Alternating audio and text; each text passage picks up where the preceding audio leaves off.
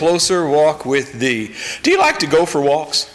Do you like to go for walks with someone special, someone you love? And while you're walking, do you find yourself just carrying on conversation and it just it just makes the whole event more meaningful?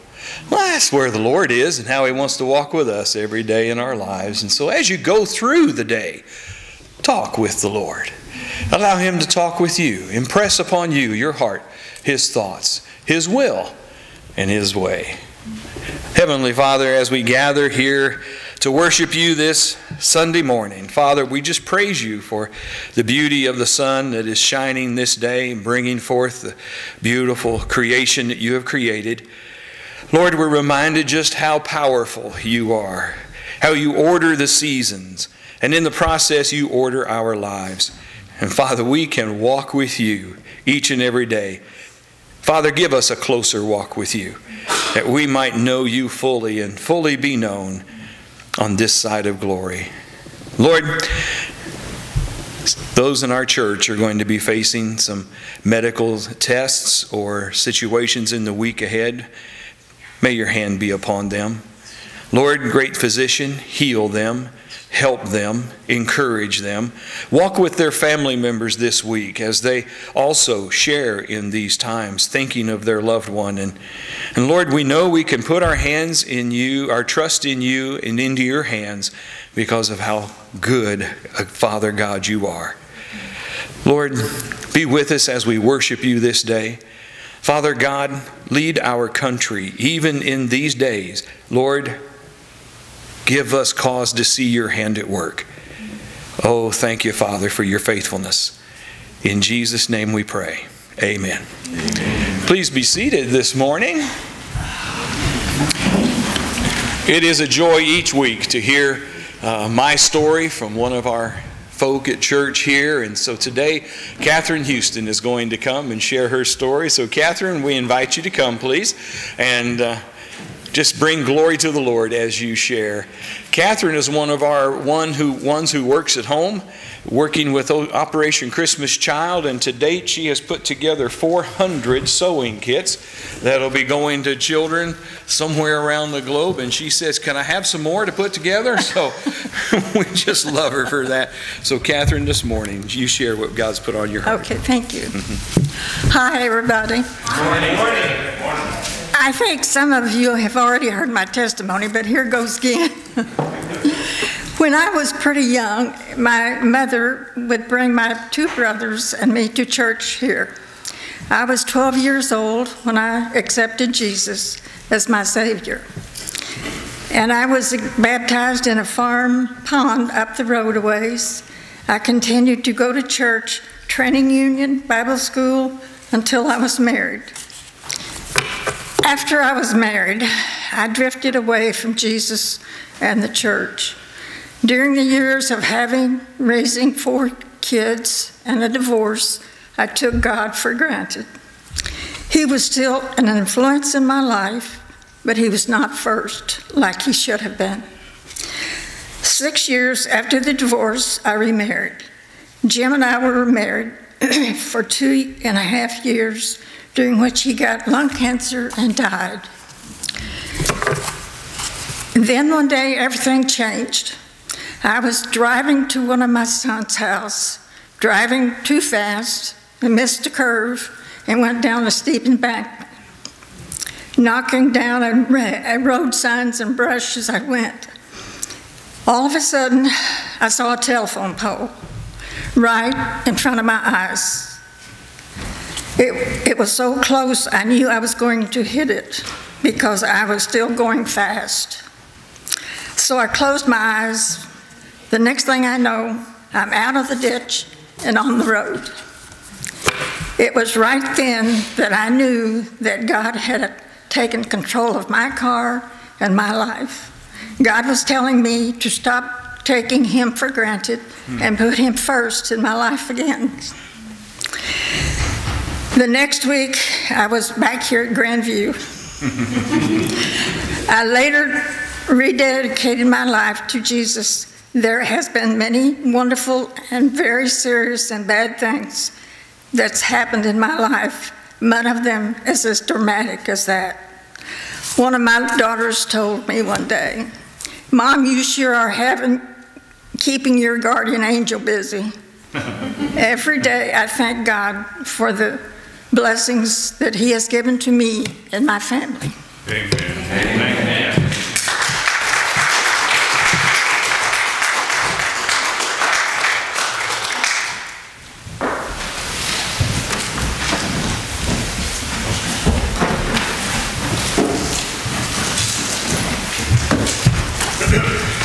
Friends, you can stay seated for your for our resting hymn here.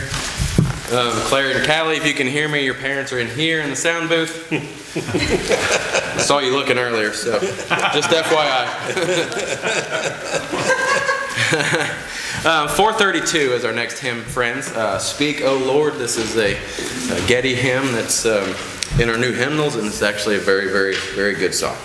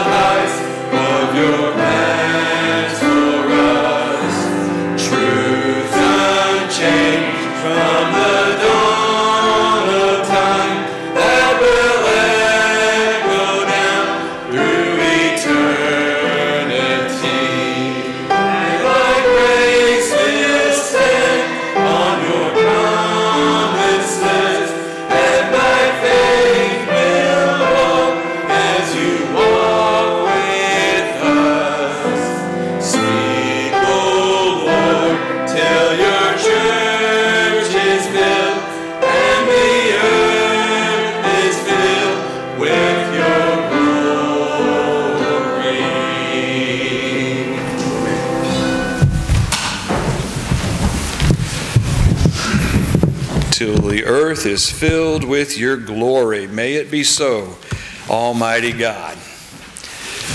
Our message this morning is entitled Courage to Trust God's Leading from Numbers chapter 13, and we'll turn to that and read from those verses in just a little bit. There's a Pew Bible there next to you, and you're welcome to use it, and it's on page 116 for this passage of Scripture. As we begin this morning, let me ask a question, and, and I'm asking for responses. Um, if you could visit one location here in our country or another country, where would it be? Someone? Israel? I know you've been there a time or ten. yes. Okay, Israel. Someone else. Somewhere in this country you'd like to visit or somewhere uh, another country?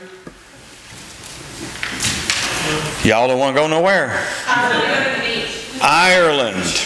Ireland. I hear the beach. Anywhere, just to the beach. Anywhere that has a beach or ocean water beach or lake water? Yes, just. Yeah. Mary Garrett's favorite color is ocean, and that's my favorite color too. that's my favorite color too.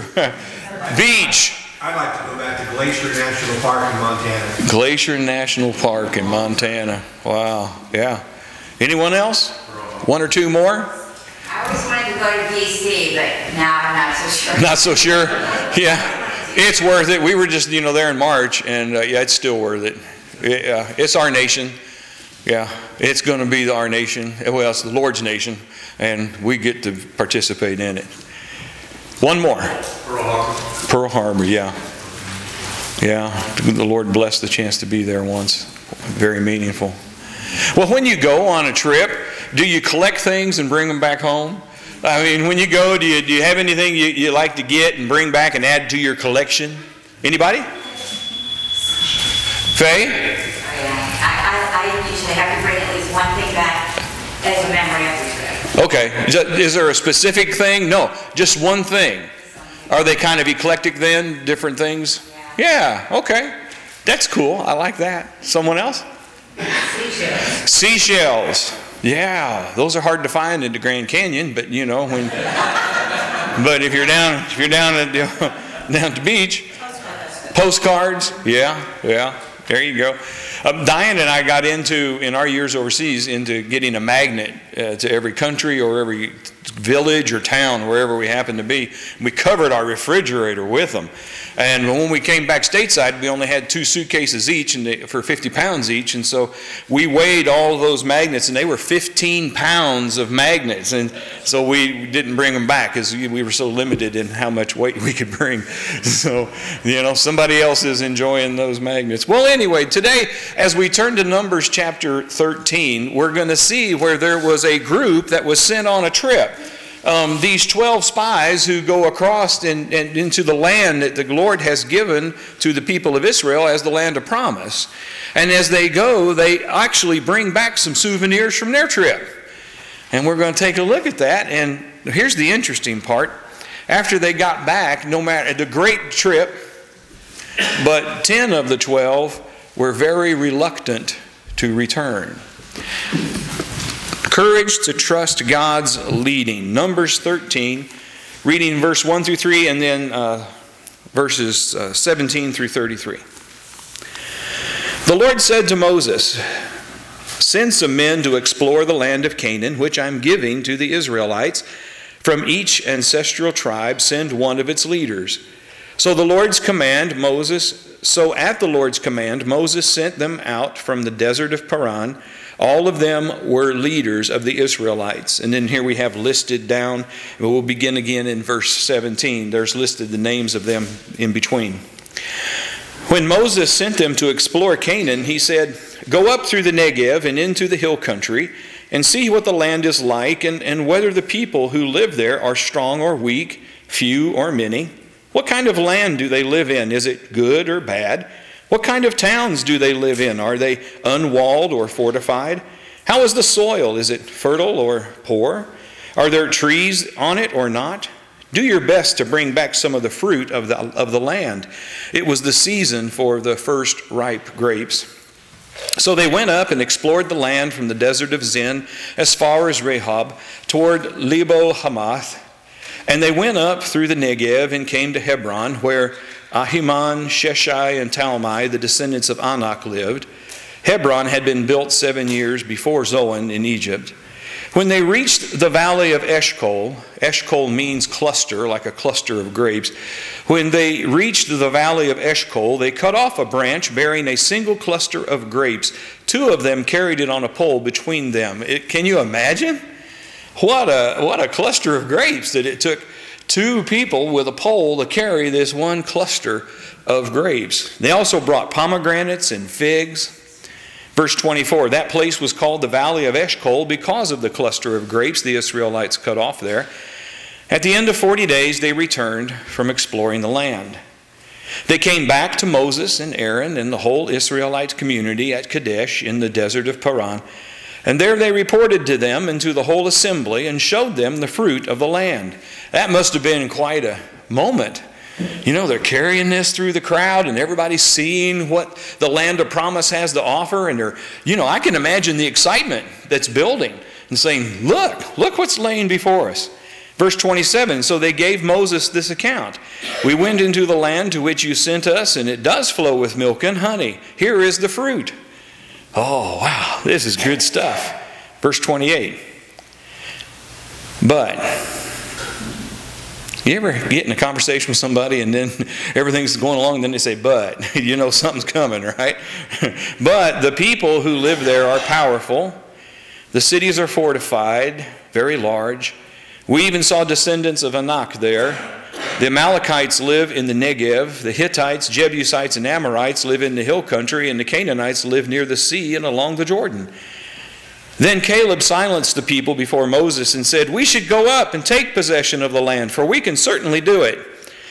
But the men who had gone up with him said, We can't attack those people. They are stronger than we are. And they spread among the Israelites a bad report about the land that they had explored. Were they passing rumors? I'm, I'm not, what were they doing? Hmm. Verse 32 again. And they spread among the Israelites a bad report about the land that they had explored. And they said, The land we explored devours those living in it. All the people we saw there are great of size. We saw the Nephilim there, the descendants of Anak, who come from the Nephilim. And we seemed like grasshoppers in our own eyes, and we looked like the same to them. Trusting God's leading and having courage to do so.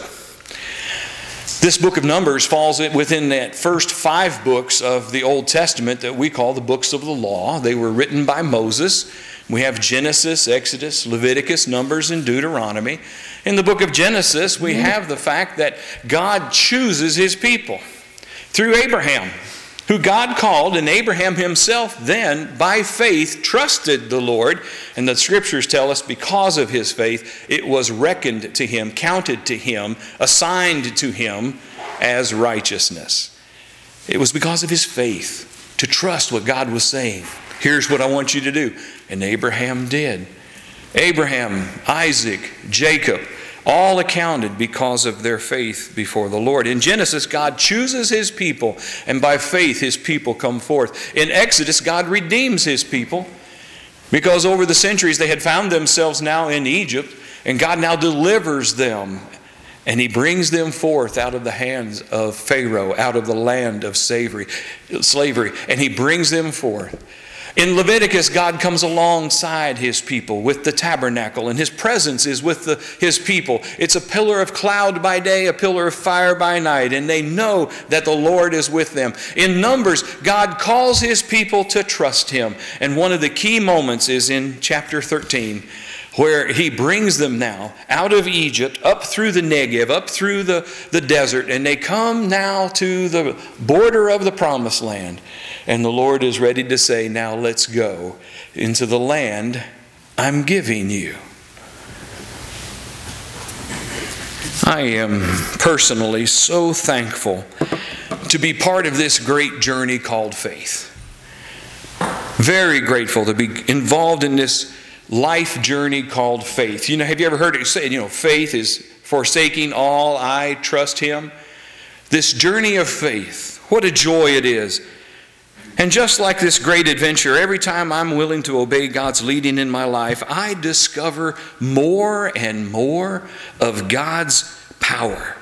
I discover more and more of His might, His protection, His faithfulness, His provision. If there's anything that my journey of faith has taught me, it's this where God guides, God provides. That's just one thing that God has taught me, and I'm, I pray He's teaching has taught you that where God guides, God provides. Have you discovered this? Oh, I pray so. Because when I look back over my life, I look through my marriage with Diane and the family that God has blessed us with, as I look back over my walk with Christ, I can see God leading and providing at so many different steps along the way. And one thing, though, that I've discovered is that most times God only gives you the next step. He doesn't give the whole plan, He just says, Well, here's the next step. Will you trust me? You see, we know there's something that we can hold on to. Where God guides, God provides. Now, the people of Israel surely must have discovered this truth as well, don't you think? I mean, imagine, while having been enslaved in Egypt for over 400 years, they cried out to God in their misery, praying and calling out for God to deliver them from that land of slavery, to give them a land of their own, and God heard their cry. God heard their cry, and God prepared to lead them out of the bondage in Egypt into the land of freedom, to the land of promise. God sent 10 plagues upon the people of Egypt because of Pharaoh's hard heartedness, his unwillingness to set the people of God free.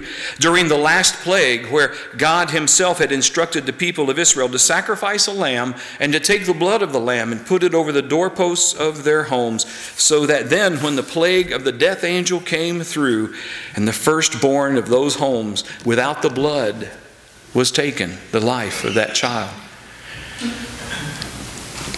The death angel then would pass over the homes where the blood had been spilled.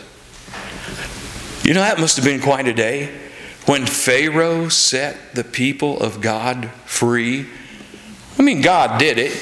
But when Pharaoh finally recognized he was up against someone bigger than he was, and he set the people of God free.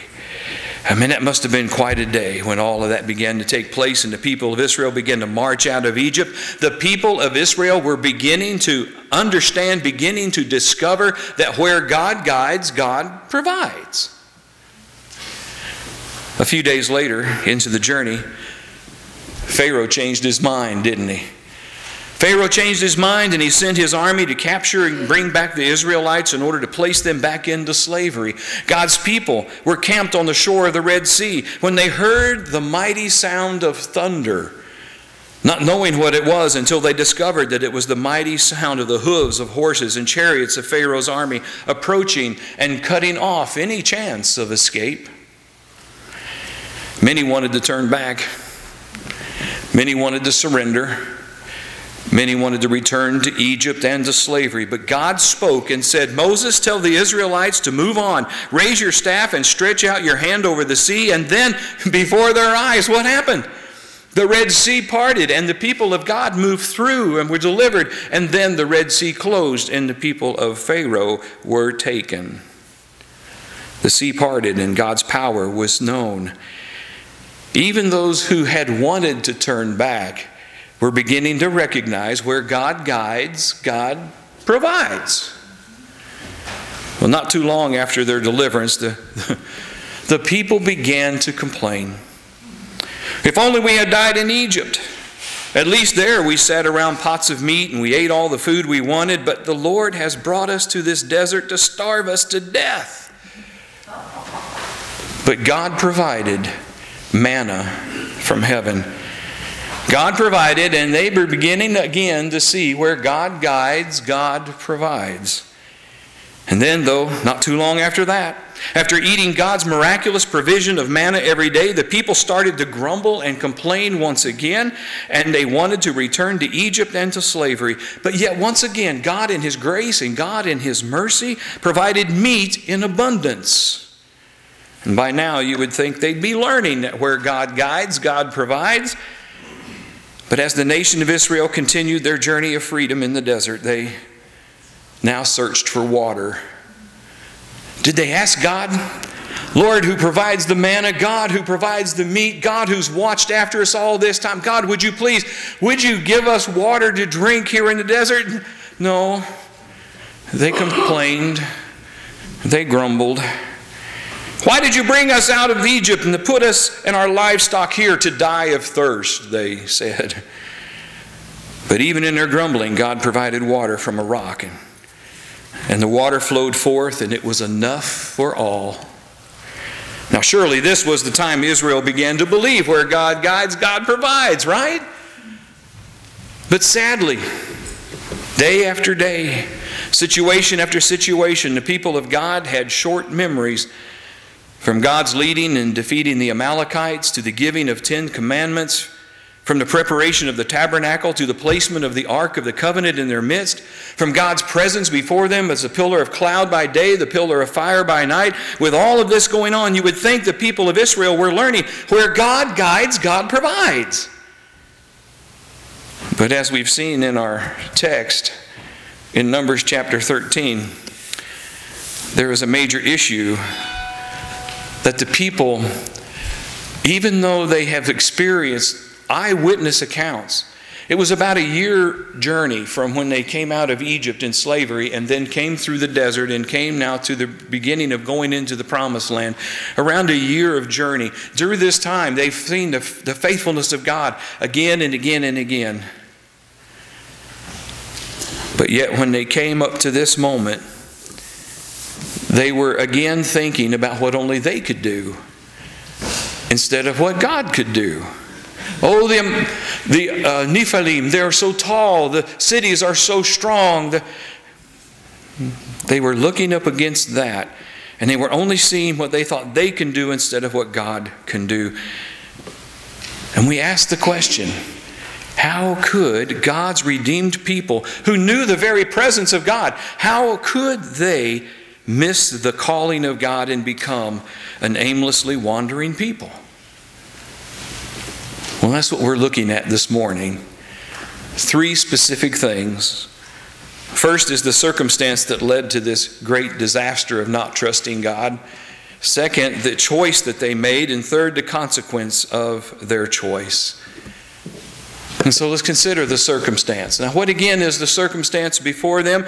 God is leading them to the shores of the Jordan River, and He's getting ready to send them over uh, into the promised land. But the first thing they do is what? They send the 12 spies by God's direction, go into the land, check it out, come back with a report. And the people wait for 40 days. They come back carrying this great fruit, and, and, and they're beginning to see the promise that God has laid out before them. But then 10 of the 12 gave a negative report, and the people had a response. Look in chapter 14, verses 1 through 4. That night, all the people of the community raised their voices and wept aloud. And all the Israelites grumbled against Moses and Aaron, and the whole assembly said to them, If only we had died in Egypt or in this desert. Why is the Lord bringing us to this land only to let us fall by the sword? Our wives and children will be taken as plunder. Wouldn't it be better for us to go back to Egypt? And they said to each other, We should choose a leader and go back to Egypt. The circumstance is, is that they, they see the promise of what God is offering. They understand what is before them. They have seen the Father's faithfulness all through this past year in their lives. But yet, Again, their focus is only on what they can see and understand and not trusting God. And they develop a bad attitude.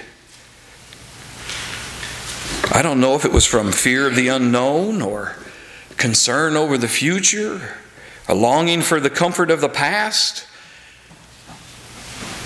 But they had a bad attitude. Someone said, It's difficult to make a good decision with a bad attitude. There's probably some truth in that.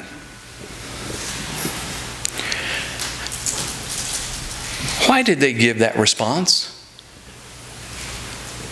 Why did they give this response instead of receiving what God was saying? Come on! It's a faith issue. Instead of going where God provides and knowing where God guides, God provides, they still, by their own understanding, were not trusting. It was a faith issue. In the New Testament, we read of a place where a centurion comes to Jesus and, and he says, My servant is ill. Would you please just say the word and he'll be healed? Don't need to come to my house. You're under authority like I'm a man of authority. And I, and I just simply say the word and my soldier goes and does this. And Jesus responded by saying, it says Jesus was amazed at him and turning to the crowd following him, he said, I tell you, I have not found such great faith even in Israel. There was a Canaanite woman who came to Jesus, a Gentile like the centurion, and her daughter had been demon possessed, and she was pestering Jesus to heal his daughter, to heal her daughter. And again and again asked him of this. And finally, Jesus said, Woman, you have great faith. Your request is granted. But one time, Jesus went to his hometown of Nazareth. And while he was in Nazareth, well, the Bible says he could not do any miracles there except to lay his hands on a few sick people and to heal them. And he was amazed at their lack of faith. Throughout the New Testament, Jesus is never impressed with someone's education. Throughout the New Testament, Jesus is never amazed at, at someone's position. He's only impressed and amazed at one thing. What is it? A person's faith. Their faith to be able to realize and recognize where God guides, God provides. What the people of Israel had allowed themselves was that they had allowed themselves to be robbed of their faith. That's the circumstance. Well, what was the choice? God put a choice before them. The choice was to go into the land or not. Have you ever played this game before? Um, is there anybody here who likes Reese's candy bars? Would anybody like this? Okay, uh, Bill, I'll let you come down if you want to come down and, and get this. Eli, okay, Eli, come on down. Here's what I'm going to do. What I'm going to do is I'm going to put this behind my back, and you've got to choose. All right? You got to choose. He's in the right or the left hand. I don't know my right and left. Oh, well, that's all right. I, I think I know my right and left. You just say right or left, and we'll see if you get it. Right. In my right, Okay. I'm sorry. Good try. But you know, that's the way it goes sometimes. We choose right, we choose wrong. But that's not how God does it. Can I show you how God says it? God says, I put before you a choice. You can choose one or the other. Which do you choose? That one. Well, go for it.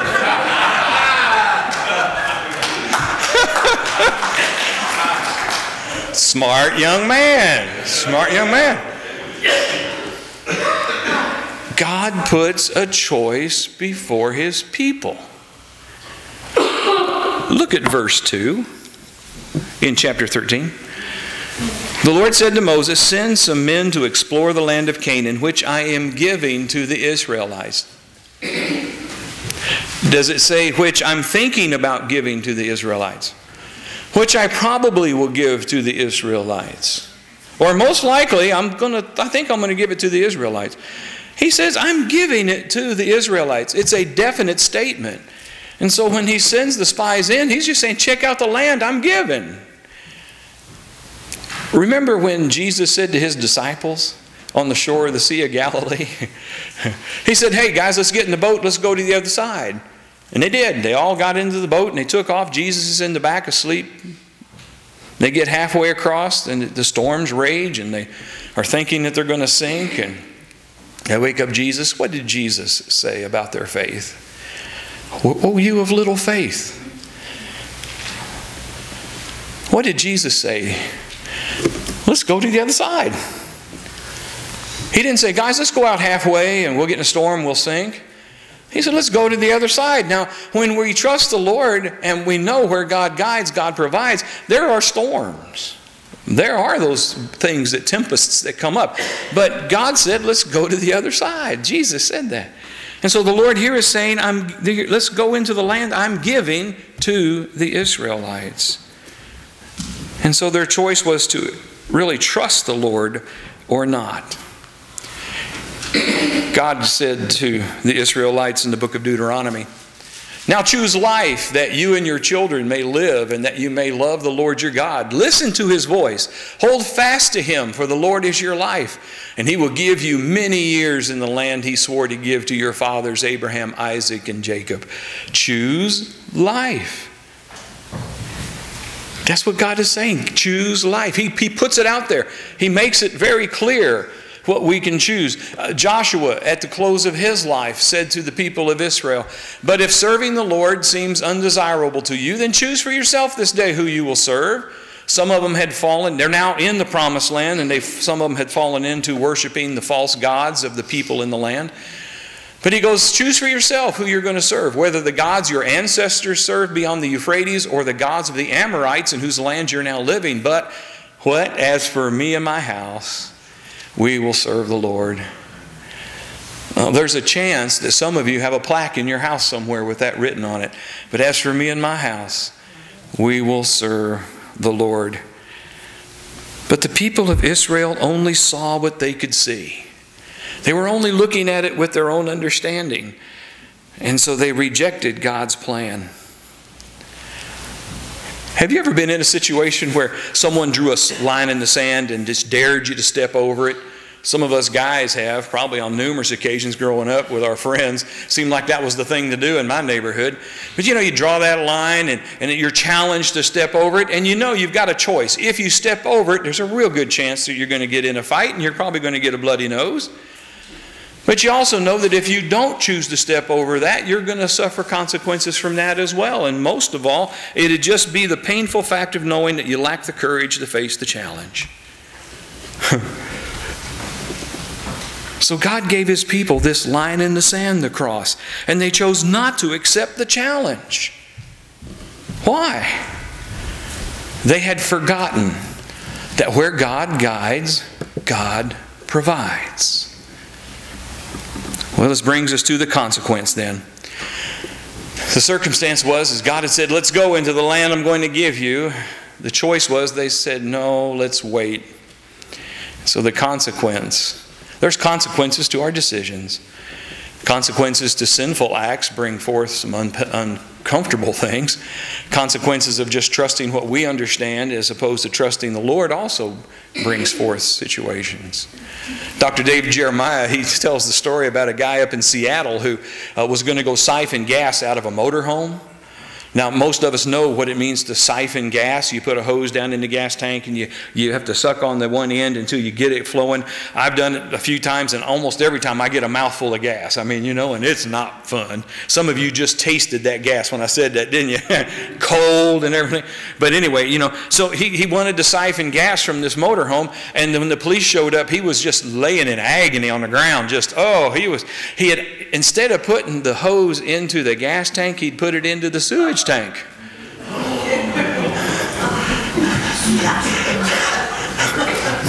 Whoops. there are there are consequences. I'm sorry, that probably wasn't just for lunch. It wasn't good. but, but the consequence for not trusting God and for leaning on their own understanding caused the people of God to wander in the desert for 40 years. Isn't that interesting? The Lord Himself said, They will wander one year for every day they were in the land. They were there for 40 days checking it out, and so now they wander for 40 years because of the choice that they had made. They were concerned about their generation, not about the generations to come. They were concerned about that moment and not about what might be. Uh, there was a pig, and the pig was underneath an oak tree, and he was enjoying the acorns underneath that oak tree until he'd eaten them all.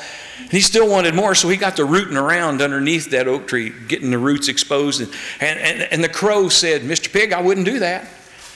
He said, Don't do that. If you get those roots all exposed and everything, they're going to dry out and that tree is going to die. Well, the pig said, Oh, let it die. Who cares? As long as there's acorns. He was only thinking short sighted, wasn't he? He was only thinking about himself in this moment instead of what could be down the road. Well, the people got what they wished for. I mean, it's true that the people in the promised land were of great size. What lay before them was a challenge. Yes, they felt like grasshoppers in their eyes and before those others. Yes, it was true that their own strength and power, they could not defeat them on their own. But God can. What was the point? They missed that God said, I'm giving this land to the Israelites. They got what they said in chapter 14, verse 2. They received what they asked for, basically. It says, And all the Israelites grumbled against Moses and Aaron, and the whole assembly said to them, If only we had died in Egypt or in this desert. And that's what happened. They died in the desert because they did not follow.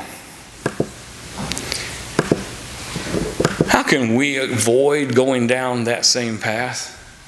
We, I mean, myself, my family, you, your family, your, our church. How, how, how, how? How can we avoid going down this same path? Well, let's learn from the history of the Israelites. That's a good place to begin. Have we learned anything from them this morning? We've seen how they again and again and again saw the hand of God, but when it came time for the challenge, they, they, they only saw what they thought they could understand. Let's learn from the history of the Israelites. Let's face the next step of faith. Let's step it, let's tech, let's face the next step with faith and not with fear. Let's step over the line and follow wherever God is leading. Why? Because where God guides, God provides. As we wrap this up this morning, I, I would ask this question What is the line that God has before you right now? What is the line you know is there that needs to be stepped over? Would you ask God to have the courage to step over that line, to trust Him enough to know that where God guides, God provides? What is that line? I don't know what it is, but right now, you've thought of something that God's been challenging you about. God's been calling you to consider. God has been leading, or God has been gently pushing. You need to do this. Let me encourage you to step over the line by faith, to trust the Lord. He's faithful. He will provide. Amen? Amen. Pray with me. Heavenly Father, you teach us from your word so richly and deeply. And Lord, we can learn from those in the past and their lives and see where they have been and and what they have done. And Father, I pray that we learn ourselves, for ourselves, for our church, Lord, what you would want us to do. Lord, thank you for these dear ones here today. Encourage them, and Father, give them the courage to step over the line you have placed before them in their own lives, in their family, whatever it would be. And by faith, Father, they would see you providing because you are the one who is guiding. In Jesus' name, amen. Our invitation hymn is found in the hymn book, number 437 Wherever He leads, I'll go. Wherever He leads, I'll go. Is the Lord leading you to take that step over that line? Would you take that step over that line today? If you would, you're invited. Let's stand together. We'll sing two verses. You come if God is leading you to step over that line.